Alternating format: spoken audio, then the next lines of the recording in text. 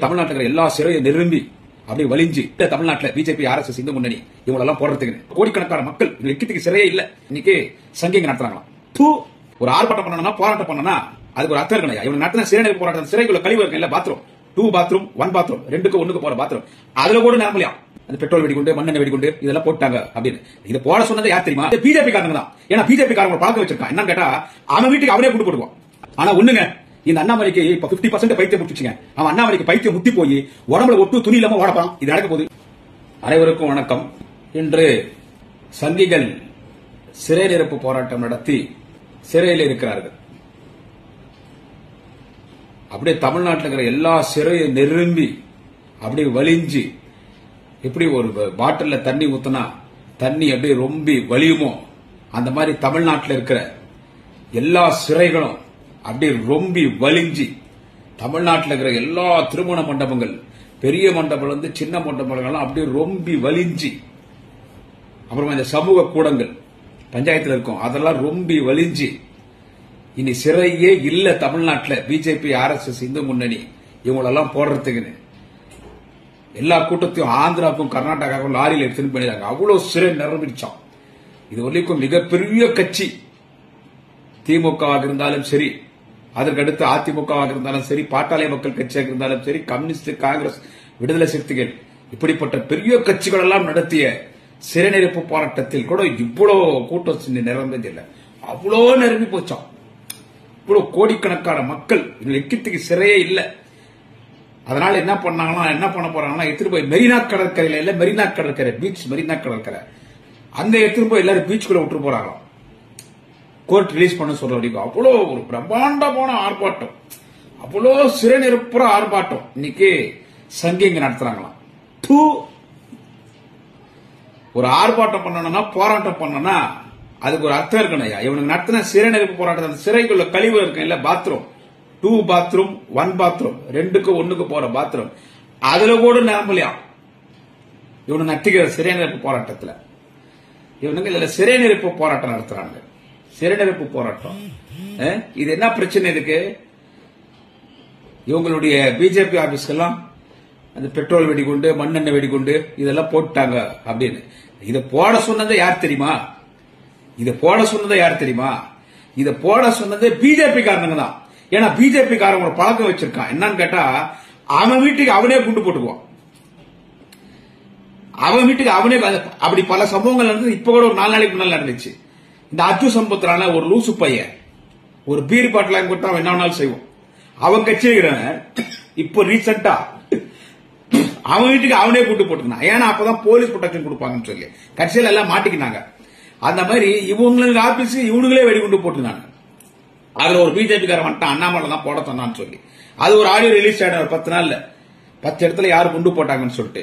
So இவனுக்கு இவனுங்களே குண்டு போட்டுக்கிறது. இதுக்கு சிறைநர் போராட்டம். இதனுடைய மூல காரணம் என்னன்னு கேட்டா ஒண்ணு இல்ல. மிகுந்த மரியாதைக்குரிய திராவிட முன்னேற்ற கழகத்தினுடைய துணை பொதுச் செயலாளர் நீலகிரி நாடாளுமன்ற உறுப்பினர் வாழும் பெரியார் வாழும் அம்பேத்கர் அண்ணனா ராசா பேசுனது. அதை புடிச்சுனே தொங்கி இருக்கிறாங்க அத்தே நீங்க பிஜேபி இந்து முன்னணி விஸ்வ இந்து பட்சத்து அவன் ஆர்எஸ்எஸ் அதை புடிச்சுதான் இன்னும் உரிமை நிற்கிறான்டா உங்களுக்கு ஒரு அரசியலே இல்லையா பேசுறது. அது சரி. நீங்க பிஜேபி காரங்க சங்கி பசங்க மதத்தை வச்சுதான் அரசியல் நடத்துறீங்க.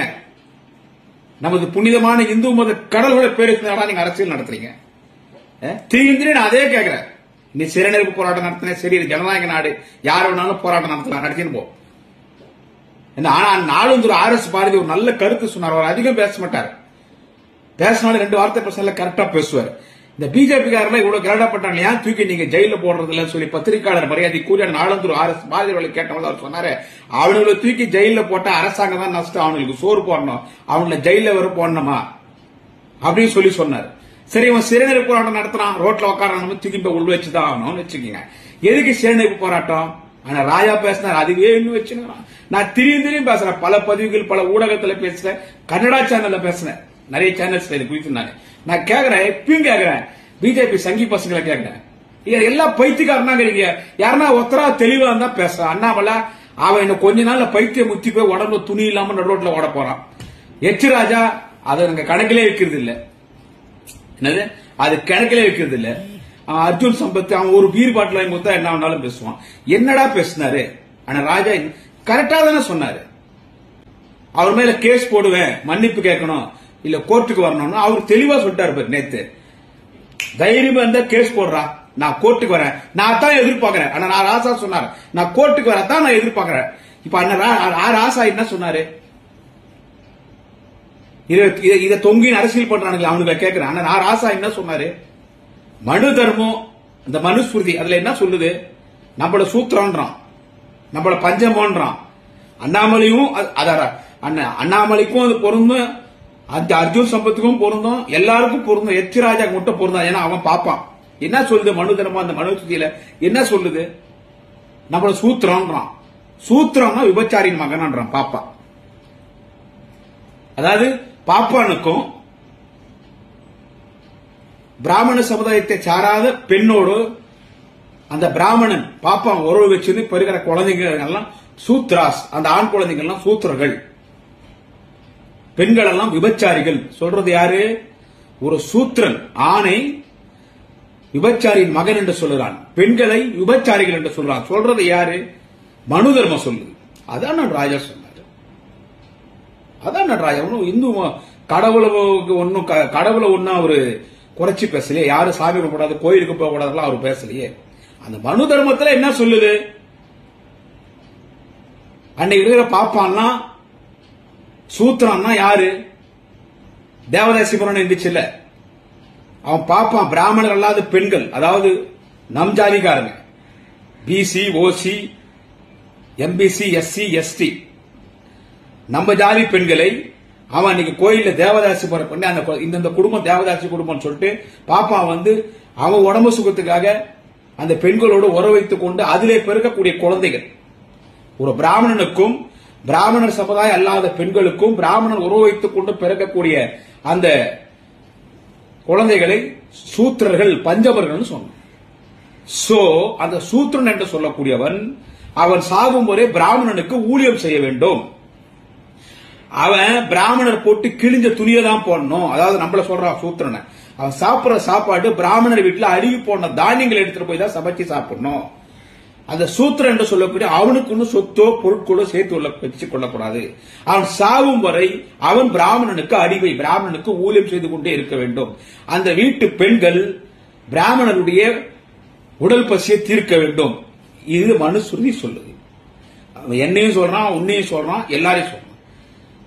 சோ இந்து மதத்தில் இருக்கக்கூடிய எண்களை இவன் இப்படி அசிங்கப்படுத்தி அந்த மனுஸ்ருதி சொல்லுதுன்னா அப்போ இந்து மதத்தில் இருக்கக்கூடிய சூத்திரன் என்று சொல்லக்கூடிய ஆண்கள் எல்லாம் விபச்சாரியின் மகன். Prostitute சன் அது வேற மாதிரி சொன்னா அசிங்கமா இருக்கும். அதை மனு தர்மம் சொல்லுது நான் ராஜா பேசினார் உடனே எடுத்து நான் டப்பாயிட்டா இந்துக்கள் எல்லாம் பார்த்து விட்டு விபச்சாரின் மகன் என்ற நான் ராசா சொல்லிவிட்டாரு. அந்த மனு தர்மம் இது இல்ல அது சொல்றதாண்டா சொன்னாரு. அப்படி சொல்றவன் யாருன்னு கேட்டா அவன் தான்டா ஆர்எஸ்எஸ் அவன் தான் இந்து முன்னணி. ஆர்எஸ்எஸ் பாரு அந்த ஆர்எஸ்எஸ் தலைவர்கள் தலைமையகம். அவன் எல்லாம் பாப்பாலேயே இன்னும் உயர் ரகம் பாப்பா இருக்கான். இப்ப நம்ம ஊர்ல கோயில் இருக்கிற பிராமணர் இருக்காங்க எல்லாம் இல்ல. அதை விட பிராமணர்களே உயர்ந்த பிராமணன் ஒன்று இருக்குதான் அவன் தான் ஆர்எஸ்எஸ் உடைய தலைமை நிர்வாகியா வருவான். ஆர்எஸ்எஸ் தலைமை நிர்வாகி இல்ல. அவன் அந்த பிராமணர்களிலே அதிலே பிரிவு இருக்கான். நமக்கு தெரிஞ்ச என்ன? ஐயர் ஐயங்கார் லிங்காயத்ஸ் சொல்லுவாங்க. பிராமணர்களே மாதவா பிராமின்ஸ் சொல்லுவாங்க. கர்நாடகா சைடு பிராமணர்களே பட்ருன்னு சொல்லுவாங்க. அவங்க வந்து சமைப்பாங்க. குடிப்போட்டெல்லாம் இருக்குதுல்ல அந்த சைடு குந்தாபுரா சைடு ஆனா இந்த பிராமணர்களே டோட்டலா எடுத்தா அதுலயே உயர்ந்த ஜாதிகள். அவன் தான் ஆர்எஸ்எஸ் அவனுக்கு அடிமை தான் இங்க இருக்கக்கூடிய அந்த பிஜே ஆட்சி செய்யற பிஜேபி இதெல்லாம் வந்து அவனுக்கு அடிமை தான் அவன் தான் நம்மள சூத்திரன்னு சொன்னான். நம்மள சூத்திரன்னு சொன்னது அவன் தான் இதான் நான் ராஜா பேசினேன் என்ன தப்பா பேசுறாரு ஒன்னும் பேசல சாமி குமரங்க எல்லாரும் ஏத்துறாங்க நான் நான் நான் இதே நேரலையில முகநூல்ல பேசுறதுனால பேசல. நானே சொல்றேன். நான் பயங்கரமா சாமி கும்பிடுவேன். நான் படிச்சிருந்த ஸ்ரீ சரஸ்வதி வித்யா மந்திரா பெங்களூர்ல டென்த் வரைக்கும் படிச்சேன். பக்கா இந்து ஸ்கூல் வெள்ளிக்கிழமை வெள்ளிக்கிழமை சத்யநாராயண சாமி பூஜை நடக்கும். எல்லாரும் போய் உட்காந்தாங்க பொட்டு வைக்காது யாரும் போகக்கூடாது. சுத்தமா இருக்கணும். அந்த ஸ்கூல்ல எடுக்கணும் சாமி நம்பிக்கை அதிகம். நான் இப்போ கூட உங்கள்கிட்ட பேசும்போது காவி வேஸ்ட் கட்டினா நான் இப்ப காவி வேஸ்ட் தான் கட்டுறேன். நீ என்ன சாமியார் பையன் நாங்களே கேட்பாங்க எங்க கட்சிக்காரே என்ன பார்த்தா. எங்க வீட்டுல சாமி ரூம் பெரிய ரூம் இல்லாத சாமி ரூமே இருக்காது. எல்லாம் பார்த்துட்டு நீ என்ன மந்திரவாதிடான்னு கேட்பாங்க. எங்க வீட்டுல பகவத்கீதா இருக்குது ராமாயண புத்தகம் இருக்குது இந்து மதத்து சம்பந்தப்பட்ட எல்லா புத்தகங்களும் இருக்கிறது. எல்லா புத்தகங்களும் இருக்கிறது. தமிழ் மொழியிலும் இருக்கிறது ஆங்கில மொழியிலும் இருக்கிறது கன்னட மொழியிலும் இருக்கிறது இந்தியும் இருக்கிறது சமஸ்கிருதமும் இருக்கிறது.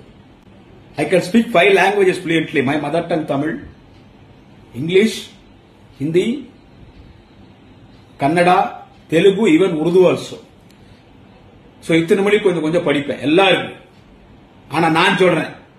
என்ன யாருன்னா இந்து மதத்தை பத்தியோ இந்து கடவுளத்தை விமர்சிச்சா நான் சண்டைக்கே போயிடுவேன். ஆனா நான் ராஜா சொன்னது கரெக்ட் அண்ணன் ராஜா சொன்னது கரெக்டுங்க அண்ணன் ராஜா சொன்னது தப்பு கிடையாதுங்க. அவர் டோட்டலா எல்லாருமே வந்து விப- விபச்சாரியின் இந்துக்கள் எல்லாம் சாமி கும்பிடுறவங்க எல்லாம் எல்லாரும் விபச்சாரியின் மகன் நான் சொல்லுகிறேன் என்று அண்ணன் ராஜா அவர்கள் தன்னுடைய கருத்தை பதிவு செய்யவில்லை. சிறை நெருப்பு போராட்டம் பண்ணி இன்னைக்கு சிறையில கழிவறையில போய் உட்காந்துருக்கா பாரு. சிறையில நெருப்பு போராட்டம் சொல்லி ஒரு ஒரு ஜெயிலையும் இப்ப நான் சொன்ன இல்ல சிறை ச- பாத்ரூம் கழிவறை. அங்க கூட கூட்டம் ரொம்ப வலி அங்க கூட அதுக்குள்ள கூட கூட்டம் போ- பத்தல. அவனுங்க சொல்றேன் ஆனா ராஜானுடைய கருத்தல்ல நான் ராஜா சொல்லல. ராஜா சொன்னாரா? அவர் சொந்த கருத்தா? ஏய் நான் ராஜா சொல்றேன். பெரம்பலூர் ராஜா சொல்றேன். ஆண்டிமுத்து ராஜா சொல்றேன். முன்னாள் மத்திய அமைச்சர் ராஜா சொல்றேன். இந்நாள் நீலகிரி நாடாளுமன்ற உறுப்பினர் ராஜா சொல்றேன். திமுகவினுடைய துணை பொதுச் செயலாளர் ராஜா சொல்றேன். கலைஞரின் தொண்டன் ராஜா சொல்றேன். தளபதியின் தொண்டன் ராஜா சொல்றேன். இது என்னுடைய கருத்து. என் ராஜாவின் சொந்த கருத்து. இந்துக்களுடைய ஆண்கள் எல்லாம் விபச்சாரியின் மகன் என்று நான் சொல்லுகிறேன் என்று சொன்னாரா? இல்லையே. மனு தர்மத்தில் என்ன சொல்லுதோ அதை சொல்லியிருக்கிறார். இது அரசியல் எடுத்து இவனுக்கு ஒரே மேலைக்கும் கீழிக்கும் குதிக்கிறாங்க ஏன்னா அவனுக்கு வேற சொல்லி இந்த பிஜேபி காரங்களுக்கு வேற எதுவும் சொல்லி அவனுங்களுக்கு அரசியல் பண்ணா அவனுங்களுக்கு தெரியாதுங்க அவன் வேற சொல்லி அரசியல் இப்ப நீ கோர்ட்டுக்கு போறேன் இப்ப அவர் சொல்லிட்டாரு. அதான்டா உங்க அப்பா மகனை நான் தாண்டா எதிர்பார்த்தான்டார நான் ராஜா. கோர்ட்டுக்கு போறேன் நீ சொன்ன இல்ல. நான் அதை தான் எதிர்பார்த்தேன். நீ கோர்ட்டுக்கு போன ராஜா மேல கேஸ் போறேன். நான் டூ ஜி கேஸே பார்த்தேன் நான் சொல்லுகிறேன் அண்ணன் ராஜா அவர்கள் டூ ஜி கேஸே பார்த்தார். உலகமே பேசப்பட்ட வழக்கு டூ ஜி வழக்கு. இதுவரை இந்தியாவில் இப்படி ஒரு ஒரு லட்சம் கோடி ரூபாய்க்கு மேல அப்படி ஒரு ஊழல் வழக்கு ஒரு அரசியல் கட்சி தலைவர் மீது சுமத்தப்பட்டதிலே ஒரு அரசியல் கட்சி அவ்வளவு பெரிய ஒரு வழக்கு திமுக போட்டாங்க. அது ஏன் ராஜா? தைரியமா இருந்த நான் கூட பட்டேலா ஜெயில போய் அவரை பார்த்தேன். கோர்ட்ல போய் பார்த்தேன். ரெண்டு பேரும் டெல்லியில போனோம் அவரை பார்க்கறதுக்கு அவரே அக்கா கனிமொழி அவர்களே. ஏன்னா அவர் கொள்கை பொறுப்பு செயலாளர் நான் கொள்கை பொறுப்பு துணை செயலாளர். ரொம்ப தெளிவா தைரியமா இருந்தார் ஒரு ஒரு பதட்டமே இல்ல ஒரு முகத்துல. என்ன நம்மள ஜெயில போட்டாங்களே? இந்தியாவே நம்மளை பத்தி விமர்சனம் பண்றாங்களே? கேட்டா தப்பே பண்ணல தம்பி நான் வெளியே வர போனாரு தலைவரை பார்த்து சொல்லு தளபதியை பார்த்து சொல்லு நான் வெளியே வர போனாரு எனக்கே கொஞ்சம் உள்ளுக்குள்ள ஒரு நெருடலா இருந்துச்சு. இவ்வளவு பெரிய கேஸ் ஒரு மேல இருக்குது? ஒரு முறையும் அவர் கோர்ட்டுக்கு வரும்போது 200 மீடியா இருக்கும். உலகத்தில் இருக்கிற எல்லா மீடியா வெளிநாட்டுல மீடியா வரும் அன்னைக்கு அவர்கிட்ட அவர்கிட்ட பேட்டி எடுக்கிறதுக்கு? இவ்வளவு தெளிவா இருக்கிறாரு சொல்லிட்டு. அந்த கேஸ்ல அவர் ஜெயிச்சார் குற்றமற்றவர் சொல்லி. சோ அவ்வளவு பெரிய கேஸ் பார்த்தா அவர் இது ஒரு நான் கோர்ட்டுக்கு வரேன்டார். தெளிவா சொல்லிட்டார். I am ready to face this case I am ready to face this case in court. If you call me for court means I am ready to come. It may be day or night at what time. And I will argue in this case. I don't want any advocates. In 2G my case also I argued. So in this case also I will argue. Just I am going to ask only one question. For Honorable Judge, Sir, you please read the Manusruti and Bhagavad Gita.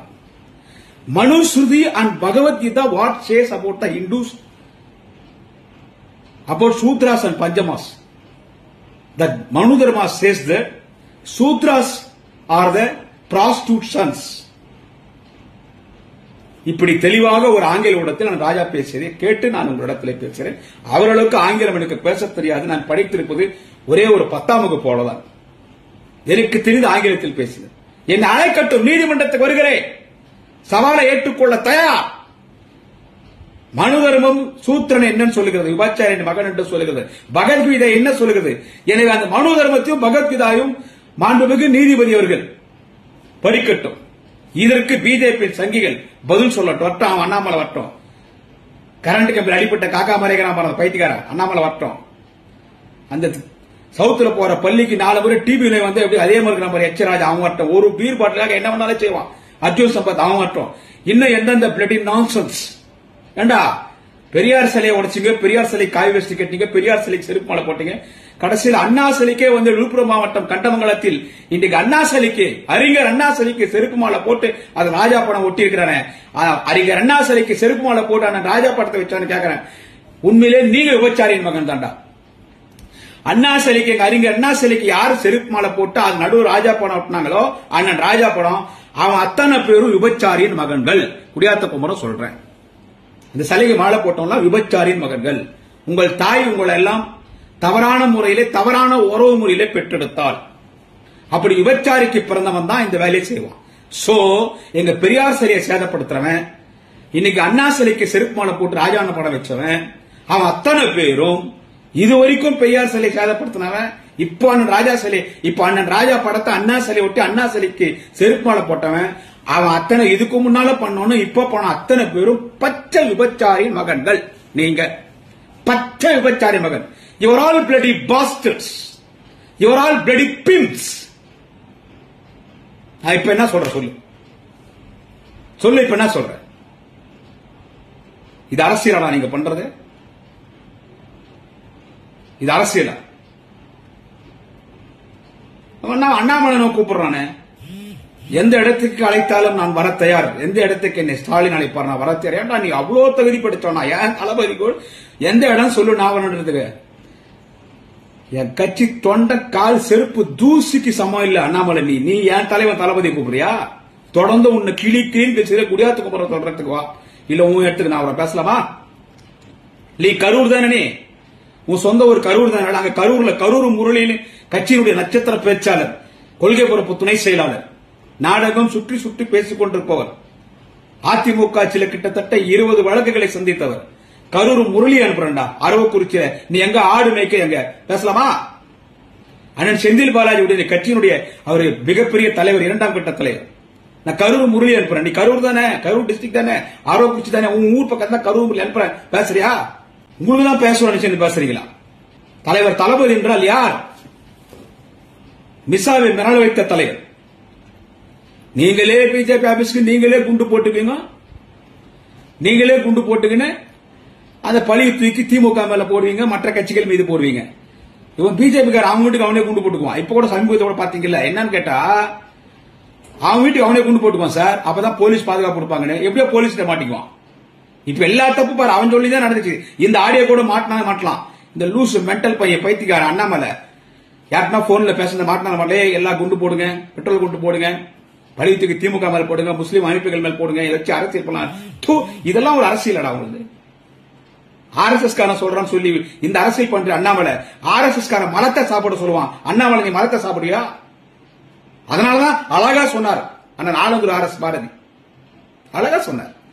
நீங்க ஏன் sir பிஜேபிக்கு arrest பண்ணக்கூடாது? அவனை arrest பண்ணி ஜெயில வச்சு அவனுக்கு சோறு போடுறது அரசாங்கத்துக்கு தான் பண நஷ்டம் இருந்தாலும் இன்னைக்கு சீரநெருப்பு போராட்டம் பண்ணிக்கிற உள்ள அங்க போய் பார்த்தா சீரநெருப்பு போராட்டத்துல பல பேர் தேடினாங்க பார் போலீஸ் குற்றவாளி. கொலை பண்ணவன் கற்பழிச்சவன் போலி மதுபான பாட்டில் வித்தவன் கஞ்சா வித்தவன் அபீன் வித்தவன் கொக்கைன் வித்தவன் பிரவுன் சுகர் வித்தவன் பிக் பாக்கெட்டு தாலி அடிக்கிறவன் முகமடி கொல்ல மாமூல் வசூல் பண்றவன் ரவுடித்தனம் பண்றவன். இவன் இத்தனை பேர் வந்துட்டு அந்த சிறநெறி போராட்டத்தில் இருக்கிறான். டேய் உன்னதான்டா தேடி புறான் புஷ்டான் போரா பேரு. இப்ப இன்னைக்கு அண்ணாமலை நடத்தின சிறைநெருப்பு போராட்டத்தில் என்னடா ஒரு பெரிய பலன்னா போலீஸ் தெரியும் ஒரு குற்றவாளி அத்தனை பேர் நிமிஷாங்க ஏன்னா அதுல இருந்து பூரா குற்றவாளி தானே. கேப் மாதிரி முள்ள மாதிரி முச்சோக்கி கேடி four twenty four twenty eight forty.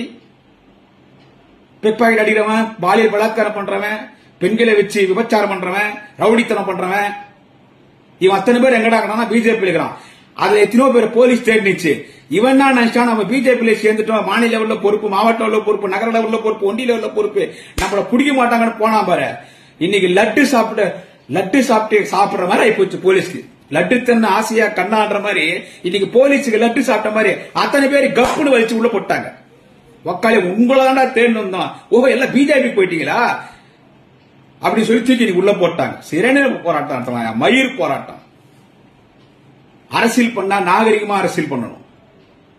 இதெல்லாம் சந்திப்பதற்கு எதிர்கொள்வதற்கு திராவிட முன்னேற்ற கழகம் தயார். அந்த காலத்தில் திமுக துவக்கப்பட்ட நேரத்தில் காங்கிரஸ் எதிர்த்த இயக்கம் திராவிட முன்னேற்ற கழகம். ராஜாஜி பக்தவச்சலம் அண்ணன் இந்திரா காந்தி ஏன் காமராஜர் அவர்களை கூட ஜெயலலிதாவை இவர்கள் எல்லாம் எதிர்த்து வென்ற இயக்கம் திராவிட முன்னேற்ற கழகம் வென்ற தலைவர் டாக்டர் கலைஞர் வென்ற தலைவர் நிகழ்கால முதல்வர் நிரந்தர முதல்வர் தளபதி அவர்கள் நீ கொசு பையன் மோட்டு பூச்சி மாதிரி நசுக்கிடுவோம் அண்ணாமலை உன்னை மோட்டு பூச்சி மாதிரி நசுக்கிடும் நான் இப்பயும் சொல்றேன். நான் இப்பயும் சொல்றேன். நான் தோக்கத்தில் சொன்ன மாதிரி உண்மையான நாங்களும் ஆன்மீகவாதி தான் நான் இப்ப காய் வச்சுட்டு தான் கட்டுனுக்கிறேன். எப்ப கட்டுறது தான் நான் முன்ன சொன்ன மாதிரி. அண்ணன் ராஜா சொன்னது நூத்திக்கு நூறு பர்சன்ட் உண்மை. அண்ணன் ராஜா சொன்னது நூத்திக்கு ஆயிரம் பர்சன்ட் உண்மை. அண்ணன் ராஜா போன்ற ஒரு தலைவன் இந்த திராவிட மண்ணுக்கு தேவை. பெரியார் இல்லை. ஆனால் பெரியாராக அண்ணன் ராசா இருக்கிறார். அறிஞர் அண்ணாவாக அண்ணன் ராசா இருக்கிறார். அண்ணல் அம்பேத்கராக அண்ணன் ராசா இருக்கிறார். உங்களுடைய இந்த சங்கி பசங்க எல்லாம் செருப்பால் அடிக்கிறேன்னா அண்ணன் ராஜா போன்ற ஒரு தலைவன் இந்த மண்ணுக்கு தேவை. அவர் எந்த தப்பா சொல்ல கரெக்டா சொன்னார். உனக்கும் எனக்கு தான் ஏன் இவ்வளவு பேசுறாரு? நம்மள விபச்சாரின்னு மகன் சொன்னான்பார் மனு தர்மம். அவன் தான் ஆர்எஸ்எஸ் அவன் தான் பிஜேபியினுடைய ஓனர் அவன் இந்த மண்ணுல வேறு உணவு பாக்குறான்டா வேறு ஊனிட்டா கொடி நட்டுட்டான் அப்பி தௌரி உக்கார இடத்துல உக்காந்துட்டா. பிராமணன் சொன்ன மாதிரி நீயும் நானும் அவனுக்கு ஊழியனா இருக்கணும். நம்ம வீட்டு பெண்களை தாரவாக்கணும். அவன் எச்ச சோரை அழுகி அவன் அவன் எச்ச சோறு அழுகி போன சோறை சாப்பிடணும். நமக்குன்னு ஊடு வாசல் இருக்கக்கூடாது. அவங்கிட்ட அடிமையா இருக்கணும். நூறு வருடத்திற்கு முன்னால் இந்த நாடு எப்படி இருந்ததோ உன்னுடைய தா என்னுடைய தாத்தா பாட்டான் கூட்டான் உன்னுடைய தாத்தா பாட்டான் கூட்டான் எண்பது வருஷம் நூறு வருஷம் மேல எப்படி இருந்தானோ அப்படி நீயும் நான் இருக்கணும். நம்ம பிள்ளைங்க நம்ம பேர பிள்ளைங்க நம்ம சந்ததிய திரும்பி கொண்டு போய் ஆரிய காலடியில அடிமையை நாங்க போட்டுடணும். அந்த நிலைமை வரக்கூடாது. அவன் அப்படி சொல்லிக்கிறான்றதான் அவர் பேசினார். அதுக்கு இவனுக்கு என்ன தடவை தடவை கூடாத இடத்துல ஏதோ மிளகா தடவு மாதிரி இவனுக்கு பத்தி எரியுது. அதை வச்சு கத்தினுக்கிறான் இப்பொழுதும் சொல்றேன் நான். ராஜா சொன்னது நூத்திக்கு நூறு பர்சன்ட் உண்மை. உண்மை. எந்த அளவுக்கு நான் ஒரு அரசியல்வாதியோ அந்த அளவுக்கு நான் ஒரு ஆன்மீகவாதி. எனக்கும் சமஸ்கிருதத்திலே மந்திரம் தெரியும். எனக்கும் தேவாரம் தெரியும். நான் பிராமணன் இல்லை. எனக்கும் சந்தியாவந்தனம் செய்ய தெரியும். எல்லா இந்து மத வழிபாடுகள் எனக்கு தெரியும். ஆனா நான் ராஜா சொன்னது சரி. அதுக்கு நீ சிறை நெருப்பு போராட்டம் நடத்துற. நடத்திக்கோ. ரொம்ப சந்தோஷம் அண்ணாமலைக்கு. ஏன்னா போலீஸ் தேடி இந்த குற்றவாளி அத்தனை பேர் பிடிச்சிட்டாங்க. போலீஸ் தேடி இருந்த அத்தனை குற்றவாளிகளை பிடிச்சிட்டாங்க. ஆனா ஒண்ணுங்க. இந்த அண்ணாமலைக்கு இப்ப பிப்டி பர்சன்ட் பைத்தியம் பிடிச்சிச்சுங்க அவன் அண்ணாமலைக்கு பைத்தியம் முத்தி போய் உடம்புல ஒட்டு துணி இல்லாம வாட போறான். இது நடக்க போகுது. விடைபெறுகிறேன். வணக்கம்.